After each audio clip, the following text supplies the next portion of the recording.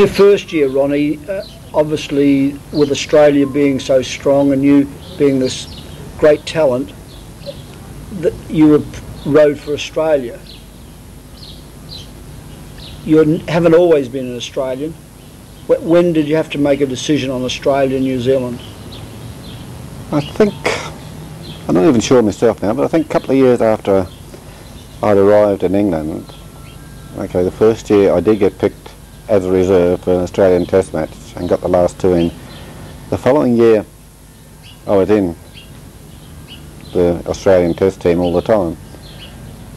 But then we started New Zealand matches and well I had a year of riding for Australia and New Zealand which was a little bit complicated and the control board stepped in and said what are you and I said well I've got a New Zealand passport so I'm New Zealand. I'll ride for New Zealand. Australia created Merry Hell, but it was my choice. There's nothing they could do about it. So from then I rode for New Zealand. A very hard decision, Ronnie. What what put you on the New Zealand side? It wasn't a hard decision, really. Uh, New Zealand, New Zealand side because, well, fundamentally I live here now. Other than that, all my friends, well, basically were New Zealanders were travelling backwards and forwards from here to England all the time. No, it wasn't a hard decision at all. It was, quite, in fact, a quite easy decision. But while I could ride for Australia and, and make money riding for Australia as well, I thought may as well cash in on it. Yeah, well, it must have cost you a lot of money picking to ride for New Zealand. Oh, in a sense, yes, but me, as far as Speedway concerned, I wasn't really worried about money. As long as you had enough to pay the bills, that's all I was, I was happy just riding and having fun. And more money was just a, a secondary thing. What did your dad think you picking New Zealand? Well, he was back here by then, but he didn't mind at all. I mean, he was a real true Aussie too, but he could see the light. Well, I phoning him on this one, in actual fact. I'd already made the decision. He said, no, well, we're, we're based here now, so you've got to be a New Zealander did for the World Championship, did you change the way you prepared for the for the World Final compared with a normal league match or test match? Mm. No, not really. I mean, he had to take the motor bits naturally and just check everything over, but as long as everything was okay, we just put it back together. And at Wembley, we used to always have the practice on a Thursday and go out and have a practice everything worked okay, and that was it, just clean the bike for Saturday. It's just another meeting. If you won it, nice, but if you didn't, well, it's not the end of the world, it's, it's just another meeting, as far as I was concerned anyway. The question's gone. Um,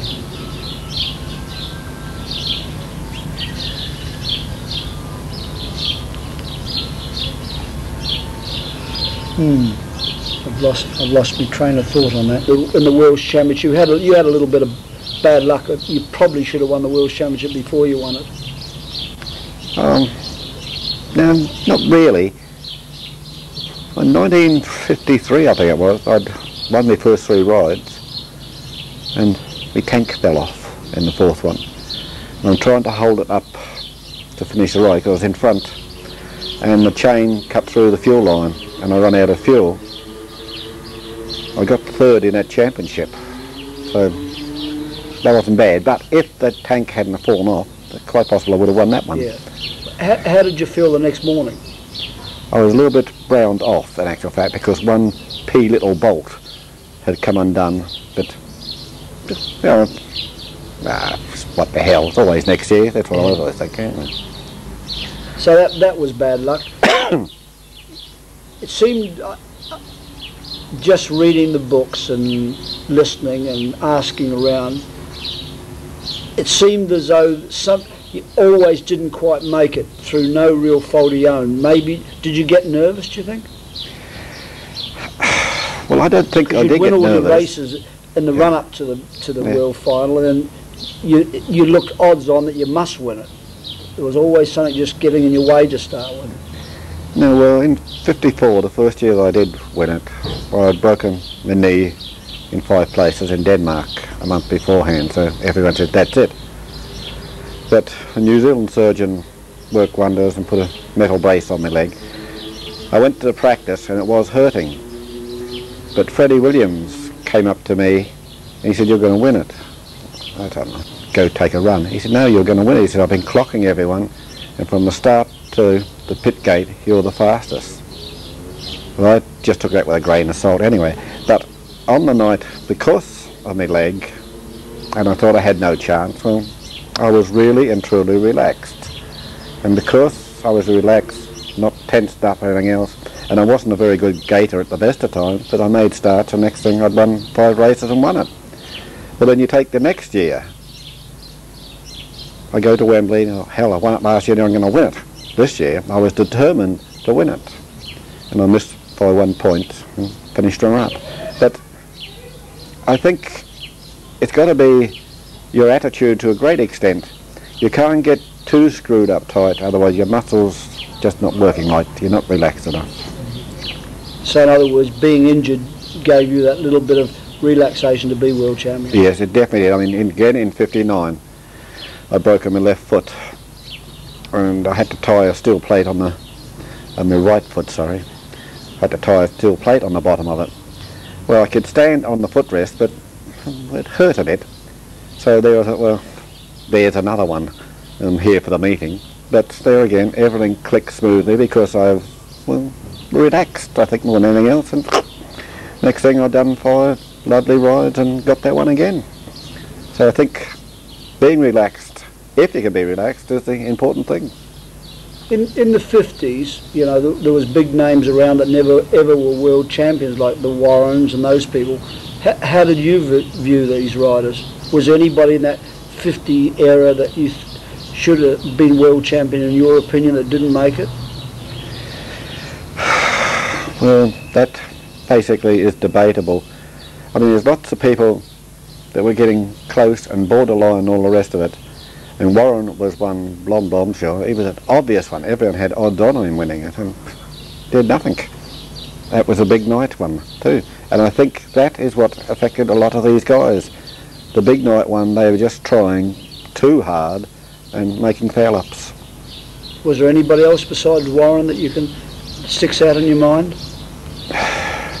Not, not really. It was sort of the uh, top little group again, and they were the people there, like Jack Young. He won it twice in a row. Freddie Williams, and they were the established ones that were on the books, should have won it.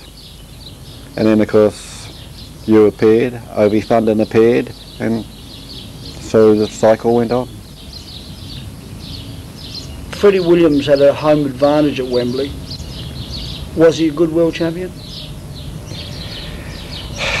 He was a good world champion from the point of view that, okay, he had a home advantage, but that basically is immaterial.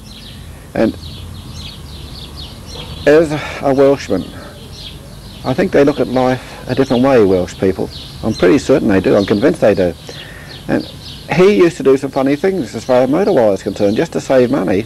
But the damn things used to still go. It used to amaze me that they did go. Where he'd use second-hand parts sometimes to make the motor go. Yeah. What? Tommy Price? Tommy, he was a real pro, but a pro in those days wasn't liked by anyone, not even the other riders.